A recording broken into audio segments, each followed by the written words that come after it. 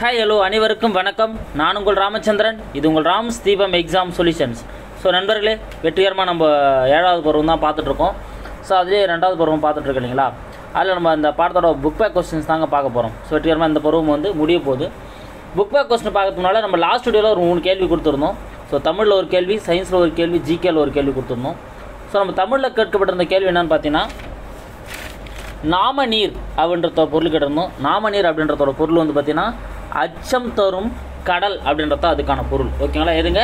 நாமநீர். இந்த வேர்டு வந்து சிலப்பதிகாரத்தில் வருது. சிலப்பதிகாரத்தில் வர ஒரு வேர்டு தான் வந்து நாமநீர். அப்படின்னா அச்சம் தரும் கடல் அப்படின்றத வந்து பார்த்தீங்கன்னா அந்த நாமநீரோட பொருள். ஓகேங்களா ரொம்ப ரொம்ப முக்கியம். நான் வச்சுங்க அடுத்து சயின்ஸில் உங்களுக்கான கொஸ்டின் ஸோ சயின்ஸில் உங்களுக்கான கொஸ்டின் என்ன? அப்படின்னு வந்து பார்த்தீங்கன்னா உணவாக பயன்படும் பாசி எது அப்படின்றத உங்களுக்கான கேள்வியை கேட்டிருந்தேன். என்னதுங்க? உணவாக பயன்படும் பாசி எது அப்படின்றத உங்களுக்கான கேள்வியாக கேட்கப்பட்டிருந்தது.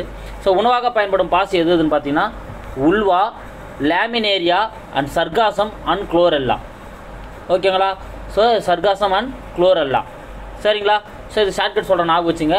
ஸோ அதை என்ன பண்ணுறான் பாசி எடுத்து உள்வாயில் வைக்கிறான். அது சர்ருன்னு வயிற்றுக்குள்ளே போய் க்ளோஸ் ஆகிடுச்சு அதை மொத்தம் காலி ஆகிடுச்சு உடனே பக்கத்தில் வரவங்க கேட்குறான் அப்பா உந்துனா வயிறா ஏரியான்னு கேட்குறான் அப்போ லேமின் ஏரியா அப்போ உள்ளே வைக்கிறான் சருன்னு போயிடுச்சு க்ளோஸ் ஆகிடுச்சு அப்போ உன் வயிறு ஏரியான்னு கேட்குறான் லேமின் ஏரியா. இதெல்லாம் வந்து உணவாக பயன்படும் பாசிகள். ஓகேங்களா? ஸோ அடுத்து நம்ம பார்க்க போகிறது ஜிகே ஜிகேவை பொறுத்தவரையில் வந்து பார்த்தீங்கன்னா நம்ம கேட்டிருந்த கொஸ்டின் பட்டின பட்டினப்பாளையம் நூலின் ஆசிரியர் கேட்டிருந்தோம். அதுக்கான ஆசிரியர் வந்து பார்த்தீங்கன்னா உருத்திரங்கண்ணனார். யாருங்க? உருத்திரங்கண்ணனார் தான் வந்து அந்த பட்டினப்பாளையம் நூலின் ஆசிரியர். ஓகேங்களா? ஏன்னா இது ஜிகேல கல்யாணம் கொடுத்துருக்கோம் அப்படின்னா ஸோ புகார் நகரத்தில் நடந்த அந்த தொன்மையான வரலாற்றை பற்றி என்ன பண்ணியிருப்பார் ஒரு நூலில் வந்து தெளிவாக சொல்லியிருப்பார். அதனால தான் வந்து நான் நம்ம இந்த நூலை வந்து பார்த்தோம் ஓகேங்களா? ஸோ உரித்திரங்கண்ணனார் பட்டினப்பாளையம் நூலின் ஆசிரியர் உரித்திரங்கண்ணனார். ஓகேங்களா? சரி கைஸ் இப்போ நம்ம புக் பேக் கொஸ்டின் தான் பார்க்க போகிறோம் அதுக்கப்புறம் இதுலேயே ஒரு மூணு வீடியோ மூணு கொஸ்டின் கொடுக்க போகிறோம் அதுக்கான ஆன்சர் நீங்கள் கமெண்ட்டில் சொல்லுங்கள் அப்படிலாம் அடுத்த வீடியோ வெயிட் பண்ணுங்கள் அதை நான் அந்த மூணு ஆன்சருக்கான ஆன்சர் சொல்கிறேன் மூணு கொஸ்டின் நான் ஆன்சர் சொல்கிறேன் அதுக்கு முன்னாடி நம்ம சேனல் புதுசாக வரங்க நம்ம சேனல் சப்ஸ்கிரைப் பண்ணுங்கள் லைக் பண்ணுங்கள் ஷேர் பண்ணுங்கள் கூட பக்கத்தில் இருக்கிற பெல் பட்டனை கிளிக் பண்ணுங்கள் அதுக்கு அப்போ தான் உங்களுக்கு நோட்டிஃபிகேஷன் உடனே வரும். நிறைய பேர் வந்து உங்களுக்கு நீங்கள் போகிற வீடியோ நோட்டிஃபிகேஷன் வரலன்னு கேட்குறீங்க ஸோ உடனே வந்து உங்களுக்கு நோட்டிஃபிகேஷன் வந்து வந்துகிட்டே இருக்கும். ஓகேங்களா சரி கேஸ் இப்போ நம்ம லாஸ்ட்டாக நம்ம ஒன்று பார்க்க போகிறோம் இல்லை செப்பமே நம்ம புக் பேக் கொஸ்டின் பார்த்தோம்னா நினைவில் கொள்கை தான் வந்து நம்ம பார்ப்போம். அதுக்கு முன்னால் இது நம்மளுக்கு இது நான் உங்களுக்கு தனியாக க ஷார்ட்கட் போகிறேன்னு சொல்லியிருந்தேன். ஸோ கண்டிப்பாக நான் ஷார்ட்கட் வீடியோ தனியாக போட்டுறேன். இப்போ நம்ம நினைவில் கொள்கை தான் நம்ம பார்க்க போகிறோம் பார்க்கலாங்களா? நினைவில் கொள்கை. வகைப்பாட்டியல் என்பது உயிரினங்களின் பண்புகள் ஒற்றுமை மற்றும் வேற்றுமை ஆகியவற்றை அடிப்படையாக கொண்டுள்ளது. ஆமாங்க. ஸோ வகைப்பாட்டியல்னா நாங்கள் ஒரு உயிரினத்தோட பண்புகள் எப்படி இருக்குது ஒற்றுமை எப்படி இருக்குது வேற்றுமை எப்படி இருக்குதுன்னு சொல்லிட்டு அதன் அடிப்படையாக வச்சு நம்ம என்ன பண்ணுறோம் அதை வகைப்படுத்துறோம் அதை தான் நம்ம என்னன்னு சொல்கிறோம் வகைப்பாட்டியல் அப்படின்னு நம்ம சொல்கிறோம் உயிரினங்களை அடையாளம் காண்பதற்கும் அறிவதற்கும் வகைப்பாட்டியல் தேவைப்படுகிறது. ஸோ ஒரு உயிரினத்தை நீங்கள் அடையாளம் காணணும் அப்படின்னாலும் சரி அதை அறிஞ்சிக்கணும் அப்படின்னாலும் சரி அதுக்கு முக்கியமாக தேவைப்படுறது எதிரான வகைப்பாட்டியல் தான் வந்து தேவைப்படுது. ஒரு உயிரினங்களை அடையாளம் காண்பதற்கும் அறிவதற்கும் வகைப்பாட்டியல் தான் வந்து தேவைப்படுகிறது. வகைப்பாட்டியலில் பேருலகம் பெரும் பிரிவாகவும் சிற்றினம் அடிப்படை அழகாகவும் கருதப்படுகிறது. அதாவது பேரினம் சொல்கிறேன் இல்லைங்களா? அந்த பேருலகம் வந்து பார்த்தோன்னா மிகப்பெரிய பிரிவாக வச்சுருக்காங்க. சிற்றினம் அப்படின்றத வந்து பார்த்தோன்னா அடிப்படை அழகுகளாக வந்து வச்சுருக்காங்க. ஸோ பேரினம் அப்படின்றது பெரும் பிரிவாகவும் சிற்றினம் அப்படின்றது அடிப்படை அழகாகவும் கருதப்படுகிறது.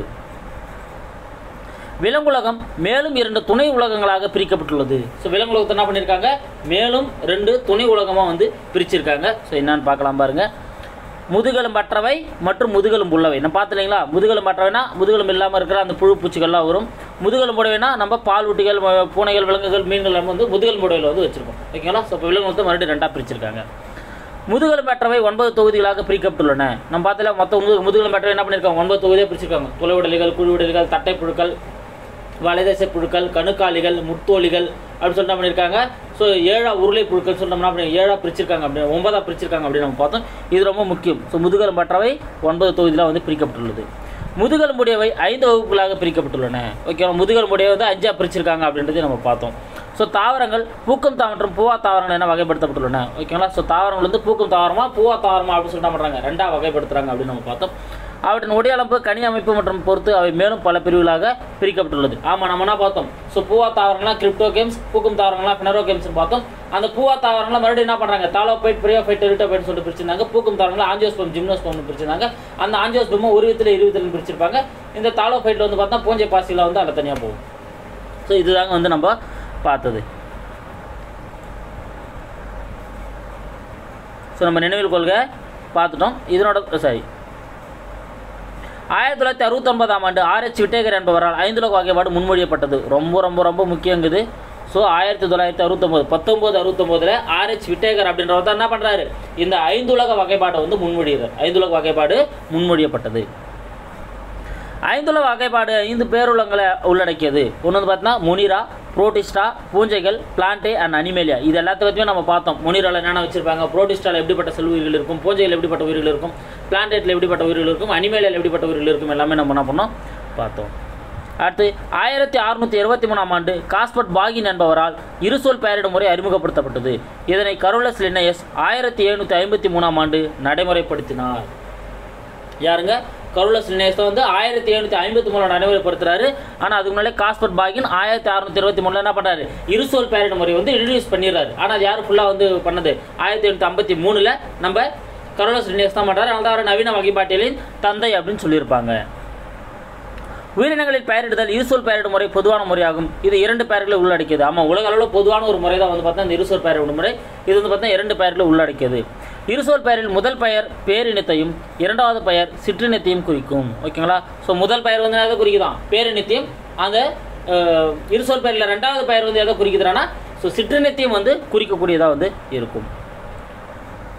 கர்னோ க கொரலஸ்னியஸ் தற்கால வகைப்பாட்டியலின் தந்தை என அழைக்கப்படுகிறார். ஆமாங்க. ஸோ நவீன வகைப்பாட்டின் தந்தைன்னு சொல்கிறாங்க ஏன்னா அவர் ஆயிரத்தி தொள்ளாயிரத்தி இருபத்தி மூணு ஆயிரத்தி அறுநூத்தி இருபத்தி மூணு காசல் பாகின்னு சொன்னதை ஒரு ஆயிரத்தி எழுநூத்தி ஐம்பத்தி மூணு என்ன பண்ணியிருப்பார் நடைமுறைப்படுத்தியிருப்பார் நல்ல வேற நவீன வகைப்பாட்டியலின் தந்தை அப்படின்னு சொல்கிறாங்க ஓகேங்களா? ஸோ அதுக்கு பேரினம் வந்து பெரிய எழுத்துப்பிலையும் சிற்றினத்தை சிறிய எழுத்துப்பிலையும் குறிப்பாங்க. அதையும் அப்படியே ஞாபகம் வச்சுங்க. ஓகேங்களா ஸோ இந்த லாஸ்ட்டாக பார்த்த நினைவுகளுக்கு மூணுமே ரொம்ப ரொம்ப முக்கியம். அதை நல்லா படிச்சுங்க. ஓகே கைஸ் இப்போ நம்ம புக் பேக் கொஸ்டின் பாய்க்கலாம். ஸோ கூடவே வந்து குறிச்சின்னு வந்துடுங்க சரியான விடையை தேர்ந்தெடுத்துக்குவோம். கீழ்கண்டவற்றுள் வகைப்பாட்டியலுக்கு எது இன்றியமையாதது? ஸோ வகைப்பாட்டியலுக்கு வந்து பார்த்தோன்னா ஒற்றுமை வேற்றுமை ரெண்டுமே தாங்க இன்றியமையாதது அப்போ இரண்டும். வகைப்பாட்டியலுக்கு வந்து ரெண்டுமே இன்றியமையாதது தான் அப்போ இரண்டும். அடுத்து ஏறத்தாழ புவியில் காணப்படும் சிற்றினங்களின் எண்ணிக்கை. ஸோ ஏறத்தாழ புவியில் எவ்வளோ சிற்றினங்கள் காணப்படுது? அப்படின்னு வந்து பார்த்தீங்கன்னா எட்டு புள்ளி ஏழு மில்லியன் சிற்றினங்கள் வந்து காணப்படுது. ஓகேங்களா? எட்டு புள்ளி ஏழு மில்லியன் சிற்றினங்கள் காணப்படுது. அடுத்து உயிரி உலகில் மிகப்பெரிய பிரிவு. உயிர் உலகில் மிகப்பெரிய பிரிவு எதுனா? பேருலகம். ஓகேங்களா? சிற்றினம் தான் வந்து அடிப்படை அழகுன்னு பார்த்தோம். பேருலகம் அப்படின்றத வந்து பார்த்தா இருக்கிறதுல மிகப்பெரிய ஒரு பிரிவு. அடுத்து ஐந்துலக வகைப்பாடு யாரால் முன்மொழியப்பட்டது? யாருங்க? RH Whittaker. ஓகேங்களா? பத்தொம்போது அறுபத்தொம்போதுன்னு பார்த்தோம். ஆயிரத்தி தொள்ளாயிரத்தி அறுபத்தொம்போது சொல்லியிருப்பார். ஆர்ஹெச் விட்டேகரால் தான் என்ன பண்ணப்பட்டது? முன்மொழியப்பட்டது. அடுத்து புறாவின் இருசோர் பெயர். எதுங்க? Columba livia. ஓகேங்களா? புரு புறாவோட இருசோர் பெயர் வந்து கொலம்பா லிவியா. இது ஷார்ட்கட் நான் சொல்ல போகிறேன் ஸோ கொலம்போ லிவியா. ஓமோ செப்பியன்னா மனிதன் ரேட்டஸ் டாட்டஸ்னா எலி மாஞ்சஃபராண்டிகனா மாமரம். இது உங்களுக்கு தெரியும். அடுத்து கோடிட்ட இடங்களை நிரப்புக. டேஷ் ஆயிரத்தி அறுநூத்தி இருபத்தி மூணில் இருசோர் பெயரிடும் முறையை அறிமுகப்படுத்தினார். யாருங்க? Gaspard Bauhin. யாரு? காஸ்பர்ட் பாகின் அப்படின்றவர் தான் என்ன பண்ணுறாரு இருசோர் பெயரிடும் முறையை வந்து இன்ட்ரடியூஸ் பண்ணுறாரு ஆயிரத்தி அறுநூத்தி இருபத்தி மூணில் அதை தான் ஏ- ஆயிரத்தி எழுநூற்றி ஐம்பத்தி மூணில் கரோலஸ் நியூஸ் நடைமுறைப்படுத்துறாரு. அதனால தான் நவீன வகைப்பாட்டியலின் தந்தை அப்படின்னு நம்ம சொல்கிறோம் அடுத்து சிற்றினம் என்பது டேஷின் வகைப்பாட்டு நிலை ஆகும் ஸோ சிற்றினன்றது எதனோட வகைப்பாட்டு நிலைங்க? அதாவது சிற்றினன்றது வந்து பார்த்தீங்கன்னா வகைப்பாட் அடி வகைப்பாட்டோட ஒரு அடிப்படை வகைப்பாட்டு நிலை. ஓகேங்களா? ஸோ அடிப்படையான ஒரு வகைப்பாட்டு நிலை தான் வந்து பார்த்தா சிற்றினம். ஏன்னா பே பேருலகன்றது வந்து பார்த்தா மிகப்பெரிய நிலை. அடிப்படையாக இருக்கிற நிலை வந்து பார்த்தோன்னா சிற்றினம். அப்போ அடிப்படை வகைப்பாட்டு நிலை. அடுத்து டேஷ் பச்சை மற்ற மற்றும் பொலிச்சேர்க்கை தன்மையற்றது. எதுங்க? பூஞ்சைகள். ஏன்னா பூஞ்சைகளுக்கு தான் என்ன இல்லை? பச்சையம் இல்லை. அதனால் ஒளிச்சேர்க்கம் ஒளிச்சேர்க்கை செய்யும் தன்மையற்றது எதுனா பூஞ்சைகள் தான். அடுத்து வெங்காயத்தின் இருசோர் பெயர். எதுங்க? Allium Allium sativum. ஓகேங்களா? ஸோ வெங்காயத்தோட இருசேர் பெயர் வந்து பார்த்தீங்கன்னா அல்லியம் சட்டைவம் அப்படின்றது வெங்காயத்தோட இருசேர் பெயர் குறிச்சிங்க அடுத்து டேஷ் டேஷ் தந்தை கருளஸ் லினேஸ் ஆவார். எதுங்க? நவீன வகைபாட்டியலின் தந்தை. ஸோ நவீன வகைப்பாட்டியலின் தந்தை கரோலஸ் லினேயஸ் ஆவார். ஓகேங்களா? ஸோ இப்போ இந்த கோடி எடுத்துக்க நாட்ஸ் மட்டும் திருப்பி சொல்கிற பாருங்க. ஃபஸ்ட்டு காஸ்பட் பாகைன் ரெண்டாவது அடிப்படை மூணாவது பூஞ்சைகள் நான்காவது அல்லியம் சட்டைவம் ஐந்தாவது வந்து பார்த்தீங்கன்னா வகைப்பாட்டியலின் தந்தை. அடுத்து சரியா அல்லது தவறா என கூறு தவறுக்கு பதிலான சரியான விடையை பதிலுக்கு கூறுவோம். ஸோ தவற சரியாக பார்க்கலாம் பாருங்க. உயிரினம் உருவாகுதல் மற்றும் பரிணாம முக்கியத்துவத்தை அறிய வகைப்பாட்டியல் உதவுகிறது. ஆமாம் சரிங்க. ஸோ வகைப்பாட்டியல் மூலமாக தான் நம்ம அறிஞ்சிக்க முடியும். இது சரிதான். அடுத்து மீன்கள் நீரில் வாழும் முதுகலும் உடையவை ஆமாம் மீன்கள் நீரில் வாழக்கூடிய முதுகலும் உடையவை தான் மிக மிக சரி. அடுத்து ஆயிரத்தி தொள்ளாயிரத்தி எழுபத்தி ஒன்பதில் ஐந்துலக வகைப்பாடு முன்மொழியப்பட்டது. தவறுங்க. ஸோ இது ஆயிரத்தி தொள்ளாயிரத்தி அறுபத்தொம்போதில் ஆயிரத்தி தொள்ளாயிரத்தி எழுபத்தொம்போதில் ஆயிரத்தி தொள்ளாயிரத்தி அறுபத்தி ஒன்பதில் தான் வந்து ஆராய்ச்சி டகர் அறிமுகப்படுத்துறாரு. ஆயிரத்தி தொள்ளாயிரத்தி அறுபத்தொன்பது. உண்மையான உட்கரு புரோகரட்டிக் செல்களில் காணப்படுகிறது. இதுவும் தவறுங்க. ஸோ ஏன்னா புரோகரட்டிக்கில் உண்மையான உட்கரு என்ன பண்ணாது? காணப்படாது.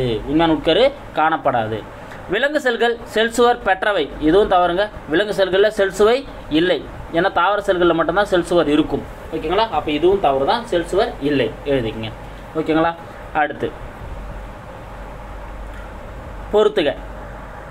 ஸோ மொனிரா மொனிராக்கு எடுத்துக்கிட்டே சொல்கிறான் பாக்டீரியா ஏன்னா ஒரு சில உயிர்கள் எல்லாமே மொனிராவில் வச்சிருக்காரு. அதனால் பாக்டீரியா அடுத்து ப்ரோட்டிஸ்டா ஸோ ப்ரோட்டிஸ்டாலாம் வந்து பார்த்தீங்கன்னா இந்த யூக்ளினா அமீபாலாம் வந்து பார்த்தீங்கன்னா ப்ரோட்டிஸ்டா அதாவது வந்து பார்த்தீங்கன்னா பலசல் ஒரு சில உயிர்கள் இதில் அடங்கியிருக்கும். ஆனால் கொஞ்சம் இதில் கொஞ்சம் இந்த உயிர்கிரேட்டி செல்கள் வந்து இதில் இருக்கும். அதனால் யூக்ளினா அடுத்து தேர்ட் ஒன் பூஞ்சை. ஸோ பூஞ்சைக்கு எடுத்துக்காட்டு மோல்டுகள். ஓகேங்களா? ஸோ பூஜைக்கு எடுத்துக்காட்டு மோல்டுகள் நாய்க்குடை காளான்கள்லாம் நம்ம பார்த்தோம். அடுத்து பிளான்ட்டை பிளான்டாக்கு வந்து பார்த்தா வேம்பு அனிமேலியா விலங்குக்கு வந்து எடுத்துக்காட்டு வண்ணத்து பூச்சி. அப்போ மூணு ஒன்று நாலு அஞ்சு ரெண்டு. இது பொறுத்துக்கான ஆன்சர் மூணு ஒன்று நாலு அஞ்சு ரெண்டு. ஸோ தெளிவாக குறிச்சிக்கங்க. அடுத்து கூற்று மற்றும் காரணங்களால் காரணங்காணல் வினாக்கள். கூற்று மற்றும் காரணத்தை பற்றி விளக்கலாம் பாருங்கள் கூற்று இருசொல் பெயர் என்பது உலகளாவிய பெயராகும். இது இருசொற் பெயர்களை கொண்டது. ஓகேங்களா? ஆமாங்க இருசொற் பெயர் என்பது உலகளாவிய பெயர் தான் இது இரண்டு சொற்களை கொண்டது. காரணம் கருள லினேஸ் என்பவரால் முதன் முதலில் இது அறிமுகப்படுத்தப்பட்டது. ஸோ என்ன காரணம் அப்படின்னா இந்த கருள லினேஸ் தான் முத முதல்ல என்ன பண்ணுறாங்க ஸோ அறிமுகப்படுத்துறாரு. அதனால் வந்து இது கூற்றும் சரி காரணமும் சரி கூற்றுக்கு காரணம் சரியான விளக்கம். அப்போ கூற்று சரி காரணமும் சரி. ஓகேங்களா கூட்டு சரி காரணமும் சரி.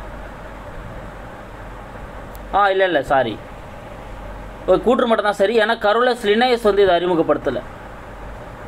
யார் அறிமுகப்படுத்துறாரு? காஸ்பர்ட் பாகின் தான் அறிமுகப்படுத்துறாரு. அதை கரோலஸ் லினேஸ் வந்து விரிவாக்க மாட்டார். அப்போ இது த கூற்று வந்து தவறு ஓகேங்களா? அப்போ க கூற்று சரி காரணம் வந்து தவறு. அப்போ இதுதான் ஆன்சர் ஓகேங்களா? ஏன்னா இங்கே காஸ்பர்ட் பாகின் வரணும். இது மட்டும் திருத்தி எழுதிங்க ஓகேங்களா? ஸோ இது தவறு. அப்போ கூற்று சரி காரணம் தவறு. அடுத்து அடையாளம் காணுதல் வகைப்படுத்துதல் தொகுத்தல் ஆகியவை வகைப்பாட்டில் அவசியமானவை. ஆமாங்க. ஸோ இதான் ரொம்ப ரொம்ப அவசியம். இதை வச்சு தான் நம்ம வகைப்பாட்டில் பண்ண முடியும். இவை வகைப்பாட்டிலின் அடிப்படை நிலைகளாகும். இது தவறுங்க. இது வந்து அவசியம் தான் ஆனால் அடிப்படை நிலைகள் வந்து இது இல்லை. ஓகேங்களா? அப்போ இதுவும் கூற்று சரி காரணம் தவறு. ஓகேங்களா? சரி குடிச்சிங்க அடுத்து இங்கே ஒரு உயர் சிந்தனை வினாக்கள் இருக்குது அதை பார்த்தலாம் சாருண்ணி ஒட்டுண்ணி மற்றும் கூட்டுயிர் உணவோட்டம் எந்த பேருலகத்தில் காணப்படுகிறது? ஏன்? ஸோ சாருண்ணி ஒட்டுண்ணி கூட்டுயிர் எந்த பேருலகத்தில் காணப்படுகிறதுனா பூஞ்சைகளில் தாங்க காணப்படுது. ஏன்னா அதுக்கிட்ட என்ன இல்லை? பச்சையம் இல்லை. பச்சையம் இல்லாதனால அது வேற ஒரு உயிரினத்தை சார்ந்து தான் இருக்கணும். அப்படி சார்ந்து இருக்கும்போது தான் சாறு மூலமாக வந்து உயிர் துணி வருது இல்லை வேற ஒரு உயிரினத்தை மேலே ஒட்டி உயிர் வாழுது. அப்படின்னா கூட்டு உயிர் வாழ்க்கை மூலமாக ஆல்கா பூஜை மற்றும் உயர்தாவர வேர்கள் மற்றும் பூஜை அவர் என்ன பண்ணுது? அதாவது லைக்கன்கள் மற்றும் மைக்ரோரைசா போன்ற மூலமாகவும் வந்து இதனோட உணவோட்டத்தை வந்து மேற்கொள்ளுது. ஓகேங்களா? ஸோ இதுக்கான ஆன்சர் வந்து அதுதான். சரிங்களா? ஸோ இப்போ இதுக்கான ஆன்சர் நம்ம பார்த்துட்டோம். அந்த ஷார்ட்கட் மட்டும் நான் உங்களுக்கு போட்டுறேன். இப்போது வெற்றிகரமாக இந்த பாடமும் வந்து முடிஞ்சிச்சு. ஓகேங்களா? ஸோ எல்லோரும் நல்லா படிங்க guys thank you guys ah okay okay அதுக்குனால இந்த வீடியோக்கான கொஸ்டின் சொல்லணும் இல்லைங்களா? ஸோ இந்த வீடியோக்கான கொஸ்டின் என்ன? அப்படின்னு பார்த்தீங்கன்னா தமிழில் உங்களுக்கான கொஸ்டின் ஓகேங்களா? ஸோ தமிழில் உங்களுக்கான கொஸ்டின் சிலப்பதிகாரத்தை பற்றி நம்ம பார்த்துட்ருக்கோம் சிலப்பதிகாரத்தோட நாயகன் வந்து கோவலன். அவனோட நாயகி வந்து கண்ணகி இல்லையா? ஸோ கோவலனின் தந்தை பெயர் மற்றும் கண்ணகியின் தந்தை பெயர். இது ரெண்டு தாங்க இதுக்கான ஆன்சர் ஸோ ஆல்ரெடி இதெல்லாம் கேட்கப்பட்ட கொஸ்டின் அதனால தான் ரொம்ப முக்கியம். ஸோ கோவலனின் கண்ண கோவலனோட தந்தை பெயர் க கண்ணகியோட தந்தை பெயர் தான் உங்களுக்கான கொஸ்டின் ஓகேங்களா அடுத்து சயின்ஸில் உங்களுக்கான கொஸ்டின் என்ன? அப்படின்னு வந்து பார்த்தீங்கன்னா இப்போ நம்ம ஆல்ரெடி வந்து பார்த்தோன்னா பாசியை பற்றி தான் பார்த்துட்டு வந்தோம் இல்லைங்களா? ஸோ அதுலேயே உங்களுக்கு இப்போ மறுபடியும் பார்க்க போகிறது அயோடின் தயாரிக்க பயன்படும் பாசி எது அப்படின்றத உங்களுக்கான கொஸ்டின் எதுங்க? அயோடின் தயாரிக்க பயன்படும் பாசி எது அப்படின்றத உங்களுக்கான கொஸ்டின் அடுத்து ஜிகேல ஓகேங்களா ஸோ ஜிகேல நம்ம உங்களுக்கான கொஸ்டின் என்ன அப்படின்னா